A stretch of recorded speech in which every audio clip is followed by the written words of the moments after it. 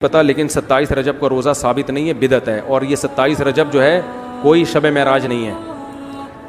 महराज साबित है नबी सल्लल्लाहु अलैहि वसल्लम की, लेकिन किस तारीख को हुई है, इसका किसी मुस्तनद हदीस में कोई तस्करा नहीं है। रजब में भी हुई है कि नहीं, ये भी नहीं पता।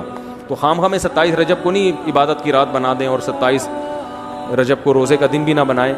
ना ये रोज़े का दिन है, ना ये रात इबादत की रात है, और ना ये नबी सल्लल्लाहु अलैहि वसल्लम की महराज की रात।